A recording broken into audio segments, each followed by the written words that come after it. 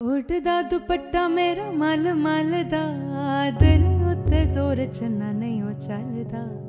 ਆਵੇਂ ਤੇ ਮਨਾਵਾਂਗੀ ਮੈਂ ਹੱਥ ਜੋੜ ਕੇ ਚੰਨਾ ਵੇ ਤੂੰ ਗੁੱਸਾ ਹੋਇਆ ਕਿਹੜੀ ਗੱਲ ਦਾ? ਸਾਡੇ ਪੈਰਾਂ ਵਿੱਚ ਬੇੜੀਆਂ ਪਾ ਕੇ, ਸਾਡੇ ਪੈਰਾਂ ਵਿੱਚ